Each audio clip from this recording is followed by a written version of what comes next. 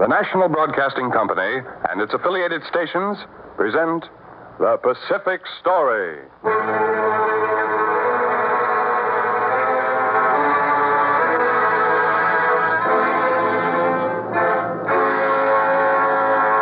In the mounting fury of world conflict, events in the Pacific are taking on ever greater importance. Here is the story of the Pacific and the millions of people who live around this greatest sea. The drama of the peoples whose destiny is at stake in the Pacific War. Here is the tale of the war in the Pacific and its meaning to us and to the generations to come.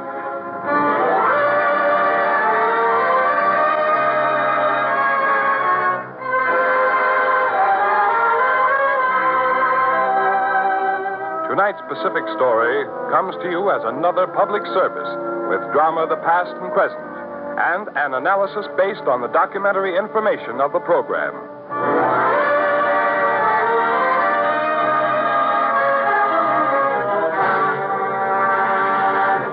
Luzon, Philippine doorway to Japan.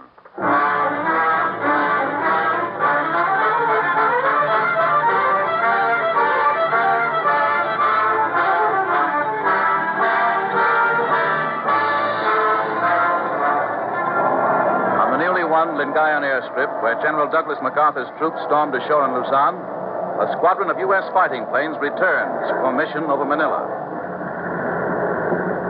Stand back over there. Watch those fighters taxiing in. That's good. That's good. Cut your motor. How was it over Manila, Ross? Pretty rugged. You got back all right. Yeah, by the skin of our teeth. A lot more Jap fighters over Luzon today than yesterday. That's what you said yesterday. Well, it's getting tougher. We had to fight our way through them today. The Japs must be sending in air reinforcements. They're not playing ping pong. Okay. We'll have your ship serviced for gas and ammunition for you in no time at all. The young fighter pilot, with his parachute strapped securely to him, stands by as his plane is serviced. He has seen the stiffening resistance of the enemy. For days now, he's been meeting more and more opposition in the air over Luzon. He understands why. He remembers what his superiors have told him about Luzon. Now, the battle for Luzon is going to be different from the battles for the other islands in the Pacific. Just recently, Premier Koiso said that Luzon is the doorway to Japan. The words of his superiors echo in his ears as he stands there watching his fighter being serviced. To begin with, Luzon is the largest and northernmost and most important in the Philippine Islands. He's flown over it. He knows how large it is. As large as Belgium and Holland and Denmark put together. Luzon is the most strategically located of the large islands between Japan itself and the Dutch Indies. Now, look here at this map. He remembers the big map on the wall and the officer, pointer in hand, indicating the strategic location of Luzon. You see, the northern tip of Luzon here is only 270 miles from Formosa. Formosa lies almost directly north, just slightly to the northwest of Luzon. It was from here in Formosa that the Japanese bombers took off to blast our military installations before they invaded Luzon just after Pearl Harbor. This means that if Formosa was strong then, it is stronger now. And that land based Japanese planes from Formosa may play an important part in the developing operations against Luzon. The most direct route to the coast of China from the Central Pacific is between Luzon here and Formosa here. So, Luzon is one of the strategic keystones of the war in the Pacific. This is why the young fighter pilot, standing there watching the servicing of his plane, has met increasingly stiff resistance in the air over Luzon. It is a foreshadowing of what lies ahead. The uh, battle for Luzon will be one of the decisive battles of the war in the Pacific. That's what a spokesman of the Japanese High Command said a few days ago.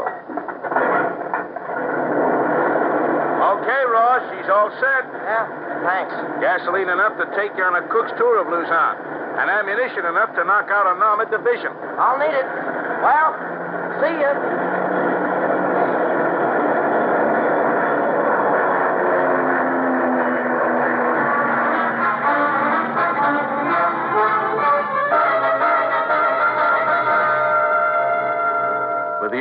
Only a week old, Americans are fast familiarizing themselves with Luzon. It's a big island, much bigger than I ever thought.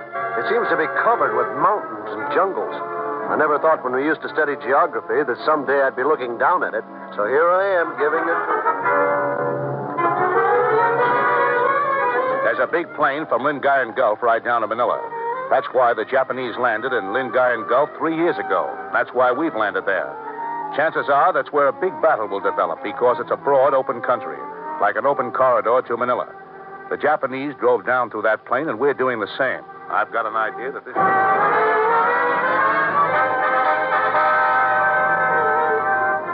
This afternoon, I flew over the Isthmus of Atimonan. It's a narrow neck of land between the northern part and the southern part of Luzon. The Japanese landed there just after Pearl Harbor.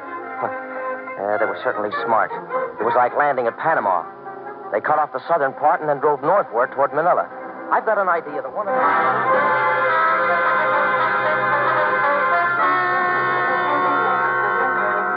Years before the Japanese invaded Luzon in 1941, they had intelligence on every foot of the terrain and on every possible point of landing. They kept detailed charts. Uh, here is Aparri. All right, uh, here. Oh, that is the closest port to Formosa? Oh, yes, sir. It is the chief port in the north of Luzon. What is this valley here? Oh, that is the Cagayan. You see, it runs from Aparri down toward Manila, 260 miles away. And uh, here is Vigan, right here. Vigan? Uh, yes. It is inland, about three miles, but it is open to shipping. That is important. How far is it from Vigan to Manila? About uh, 200 miles. Uh, yes. And here, about 100 miles from Manila, is Ringayan Gulf. I know Ringayan well. There are mountains to the east, but the approaches from the west are level. Yes. It is the converging place of these Raj highways here and here. And uh, here is one more point, General. Down here in the south. Oh, yes. Atimonan. Uh, yes, sir. The Isthmus of Atimonan. A church has been built there with a large steeple. Can the steeple be seen from some distance at sea? Oh, yes, sir. It is like a lighthouse. Bearings can be uh, taken on it. Get all the details on the steeple and the approaches to Atimonan. We will have use of them. For years, Japanese had been visiting the islands and collecting information. They had covetous eyes on the Philippines, as other races before them had had. Invaders had come and gone, all trying to subjugate the peoples of the Philippines, all trying to exploit the resources and the peoples of the islands for their benefit. Five hundred years ago, it was the Chinese. In the name of Yung Lo, Emperor of all China, and with the rights invested in me as governor appointed by the Emperor, I here and now claim all of these thousands of islands as a protectorate of the Chinese Empire. For a hundred years, we have been taking gifts to the celestial court of the emperors so that the Chinese would not come here to rule us. They have discovered the treasures of our islands, and these they know are more valuable than our gifts. A hundred years later, the Spaniards came.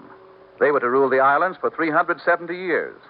But even during the Spanish rule, the Japanese had their eyes on the Philippines.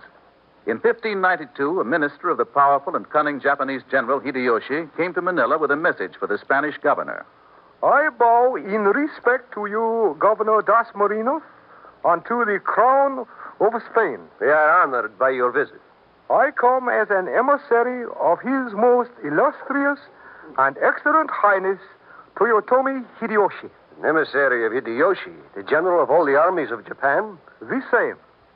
General Hideyoshi commands that tribute be paid to the Empire of Japan. I have come to correct it. Tribute? Under God, there is no reason for the crown of Spain to pay tribute to the Empire of Japan. These islands are within the orbit of influence of Japan. The crown of Spain is therefore beholden to Japan and is commanded, therefore, to pay tribute. I shall not pay tribute. General Hideyoshi has instructed me to inform you, and through you, the crown of Spain, that unless tribute is forthcoming, the city of Manila will be attacked and occupied. You will be permitted ample time to make your decision. But Hideyoshi did not live to carry out his threat against Manila. Japan closed its doors to the world for more than two and a half centuries, and the flag of Spain continued to fly over the Philippines until 1898. Say, Ed, is there anything yet Wait on a that? minute. Wait a minute. Something's coming in right now. Yeah? Yes. September 1898. American forces are now in control of the island of Luzon, largest of the Philippine islands. What do you know about that? Uh, Manila's on Luzon, isn't it? Yeah, Luzon's that northernmost island. Uh, pretty wild country, I guess. Uh, wait a second. Something else is coming in. yeah. What do you know about that? September 1898. Luzon, the largest of the Philippine islands, is to be made into a base for American operations to occupy the other islands of the Philippines. Well, what do you know? Things must be really popping over there. Looks to me like they're going to. It was then that the Americans learned about the Philippines, about the great size of Luzon, its mountains, its rivers, its lakes, and its jungles. But now the Japanese had come out of their centuries of seclusion, and again were looking toward the Philippines.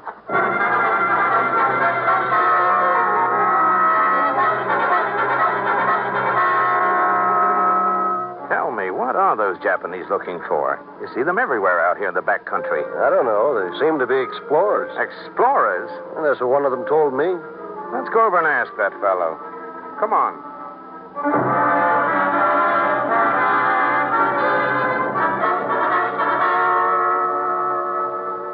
I am looking for ancient porcelain jars. Think you're going to find any? Oh, yes. There were once many porcelain jars here in the Philippines, made in China during the Ming and Sung dynasties. That's so? Oh, yes. They were very valuable ones. But nearly everyone here in the islands has forgotten about them in these recent years. What were these jars used for originally? They were Chinese burial jars. And where are these jars usually found? Oh, uh, uh, uh, they are found everywhere. Uh, now, if you will excuse me, please, I must get along. The Japanese covered most of the Philippine islands. Explorers, businessmen, fishermen, photographers. There are many lakes in Luzon. Reports were sent back to Tokyo. In central Luzon is a Bai Lake, sometimes called Laguna de Bai. This lake is 25 miles long and 21 miles wide. The Pasig River connects Bai Lake with the Manila Bay. Details were sent to Tokyo about the rivers of Luzon. The Rio Grande de Cagayan flows from the southern Caraballo Mountains in the central part of Luzon up to the north coast. Many smaller streams flow into it on its way north. The Rio Grande de Cagayan is a dangerous stream. And with the passing years, they studied and made note of the peoples of the Philippines. There are many tribes in the Philippines. The best known and the most advanced are the Tagalogs of central Luzon. How many of these Tagalogs are there in Luzon? Not quite two millions.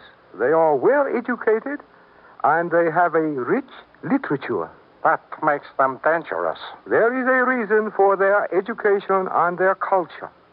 The center of activity in the Philippines, Manila, with the government and all its business, is located in the territory of the Tagalogs. Detailed information was also collected on the other peoples. Uh, which people are here in this valley? The Cagayans. They occupy the valley that runs southward from Aparri. We will need to understand the Cagayans. One of the big Japanese drives in the war to come was to be made through the Cagayan country, down from Aparri. And the Japanese were to meet the other peoples of Luzon. So they studied them too the Bicols, the Pampangas, the Sambos, the Igorots, the Pangasinans, the Negritos. The Japanese studied how they lived and how they worked and the products of their labor. Report on the mineral resources. There are a gold and a iron and a chromite and a coal in good quantities in the Luzon. The mines are now in operation. With the proper development, their yield could be increased. In Tokyo, the location of the mines was indicated on the detailed charts. With these were kept detailed information about the operation of each mine. And in another Tokyo office, up to the minute intelligence was kept on the products of the soil. Here is the latest revised list, General. Uh, yes. Cocoa, coffee, tobacco, cotton. Cotton will be important to us. More can be grown if some of the rice fields are taken over. Rice is the principal cultivated plant. We will need cotton. They can live on something else, can they not? They raise uh, sweet potatoes and maize. They would have to eat more of these on mangoes, on bananas, and on pineapples. They do not eat very much meat. And what is this on this list? This Yeah, that is abaca. In the trade, it is called Manila hemp. Oh, yes, Manila hemp. It is the strongest natural fiber, and no other fiber can take its place aboard ships. Very good. It is indispensable both to navy vessels and to merchantmen. Then the nations that are denied it would suffer a disadvantage? A very serious disadvantage, sir. Just where in Luzon is hemp produced? I can show you, sir. Here, here on the map. Yes. Here, you see is Manila.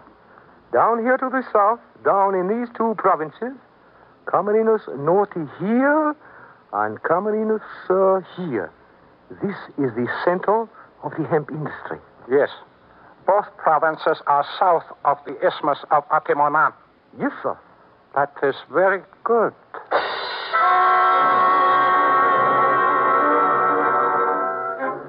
By 1940, when the tension in the Pacific was reaching the breaking point, the Japanese knew all there was to know about the hemp industry of Luzon. They also knew about the sugar centrals, the cigar and cigarette factories, the coconut oil mills, the copra industries. They had surveys of the rich forests of Luzon, where flourish all the woods needed for building, as well as for the production of medicines and dyes. They even had detailed information about the factories making candy, embroidery, margarine, and soft drinks. And all this information they were to use to good advantage.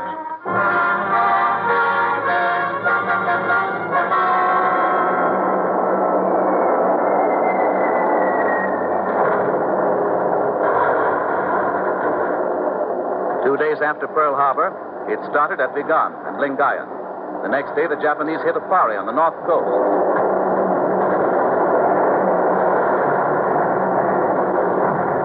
Americans trapped in Manila faced the advance of the enemy.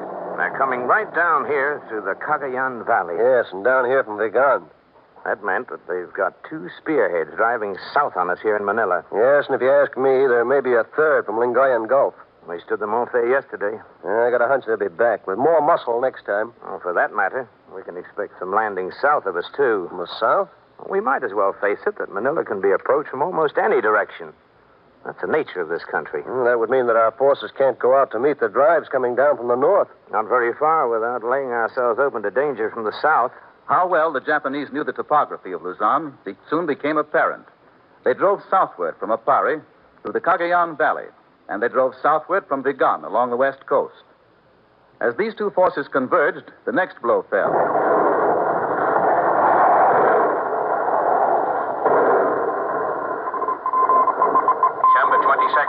1941. New and powerful Japanese landings are being made in Lingayen Gulf.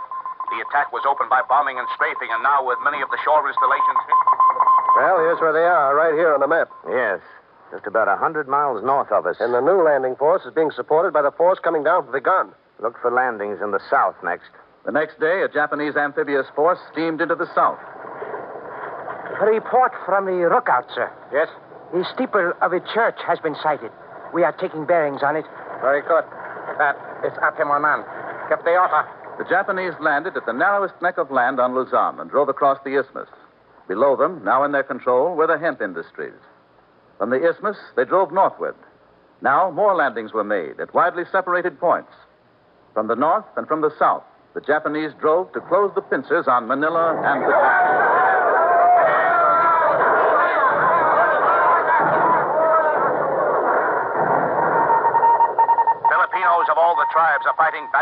Alongside the Americans in a vain effort to stem the tide of the overwhelming Japanese invading forces now estimated to be more than a quarter of a million.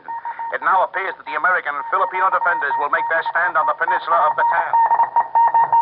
Yeah, they're going to be here in Manila in no time now. Yes. The way they fought their way around all the obstacles here on Luzon is amazing. It's just a matter of information. Lord knows the Japanese had plenty of that. It's difficult for me to think of Baguio, beautiful Baguio up there in the mountains, in the hands of the Japanese. Yes? Well, they're already there. What a place that is. 5,000 feet above sea level. All those beautiful pine trees, the waterfalls, the canyons and gorges, the rugged passes. Well, it'll seem just as incredible to me to have the Japanese here in Manila. And soon the marching of Japanese troops, the rumble of their mechanized equipment, were echoing through the streets of Manila. You two will stand right here. Yeah, okay. Well, How does it seem to be a prisoner? Well, I don't know. Say, look at that Japanese over there. Yeah? Hey, there's something familiar about him. Well, there's a guard here who he is. If he'll tell you. Uh, guard, uh, that man over there, uh, who is he? Oh, that one? Yeah. He is second in command of the internment camp here. That's so? Here he comes. Coming over this way. Yeah. Say, I know who he is. I'm going to speak to him. Yeah, go ahead. Uh, pardon me. Uh, haven't we met before? Oh, perhaps. We met out in the back country. You were collecting Chinese burial jars. Yeah, that's right. The Ming and Sung dynasties. Well, You are no longer interested in burial jars? You will have the opportunity to know what our interests are.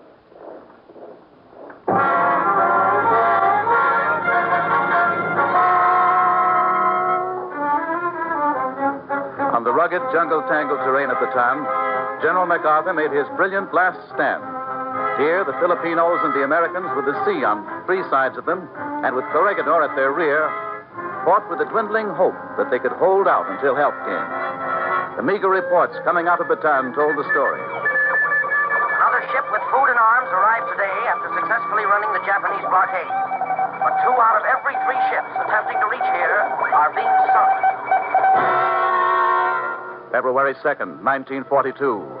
Today, Bataan fell. May 6th, 1942. Today, Corregidor fell.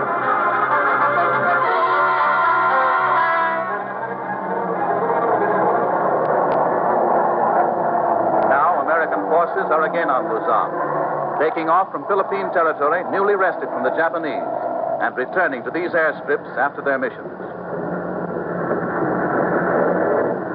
Stand back over there. Watch those fighters taxiing in. That's good, Ross. Cut your motor.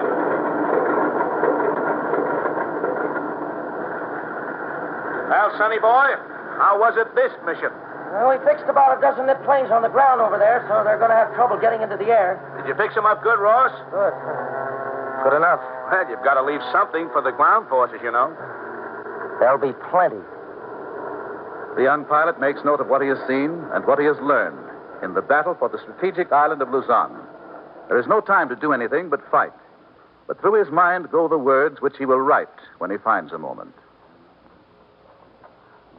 Dear Mother, there is so much about this that I can't tell you. What's gone on before and what's going on now. But all of us know this. Last time, the Japanese had the advantage. They could choose the place to attack, and well, they certainly picked some good ones. But now it's our turn. Our side knows Luzon with all its harbors and, and mountains and lakes as well as the Japanese do. And I've got an idea, Mom. We're not going to miss any bets. It's going to be rugged, but, well, I, I think Koiso was right when he said the battle for the Philippines is the battle for Japan.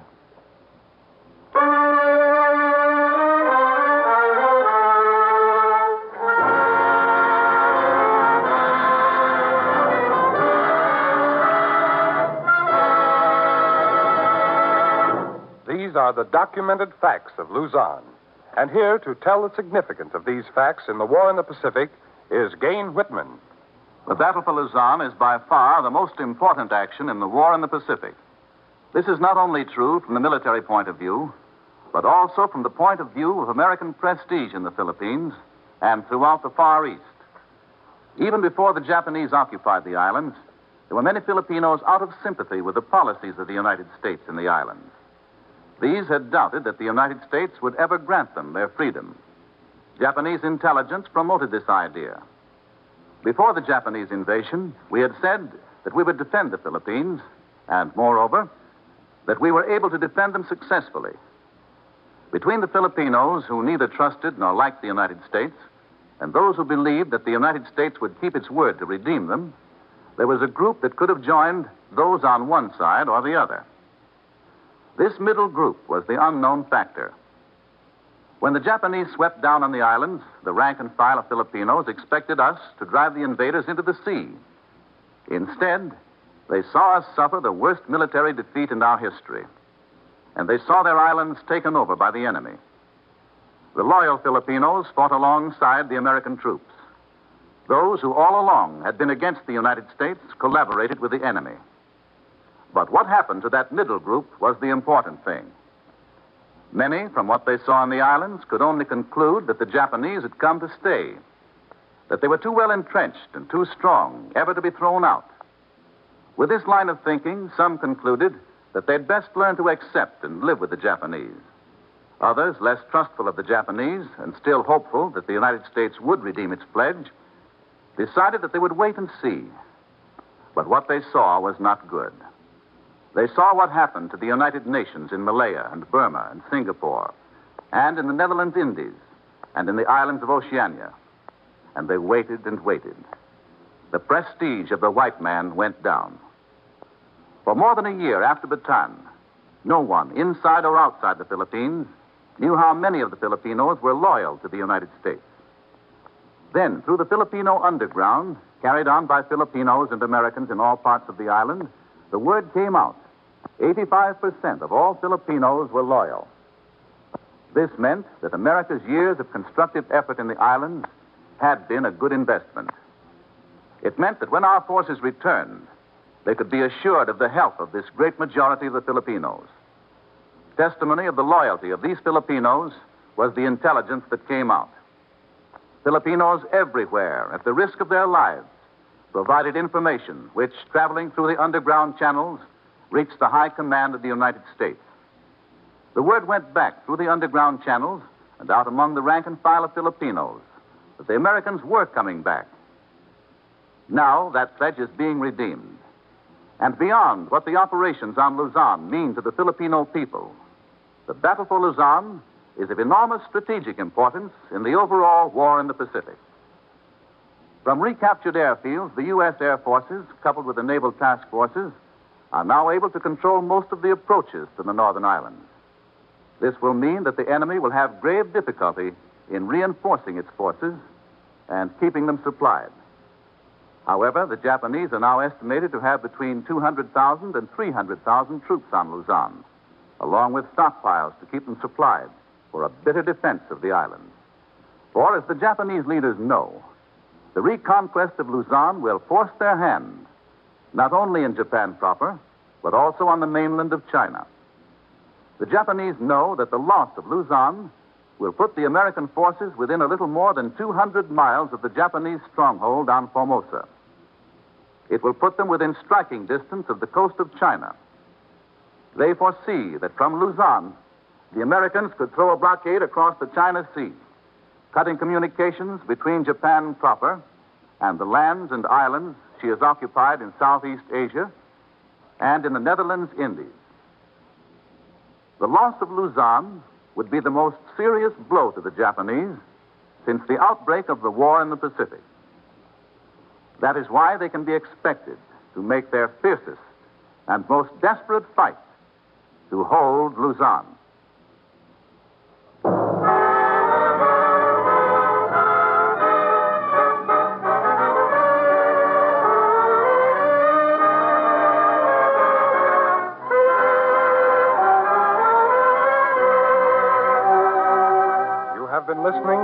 Pacific Story, presented by the National Broadcasting Company and its affiliated independent stations as a public service to clarify events in the Pacific and to make understandable the cross currents of life in the Pacific Basin.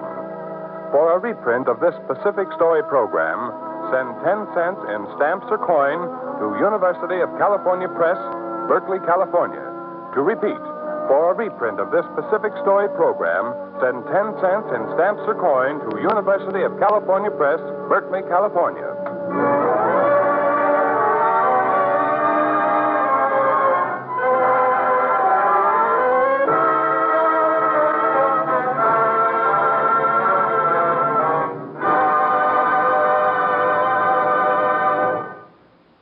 The Pacific Story is written and directed by Arnold Marquis.